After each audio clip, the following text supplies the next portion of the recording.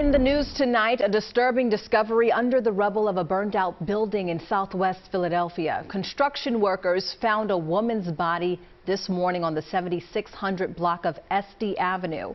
The building, which served as transitional housing for the homeless, caught fire early Thursday morning and was in the process of being demolished. Police have not released the identity of the woman.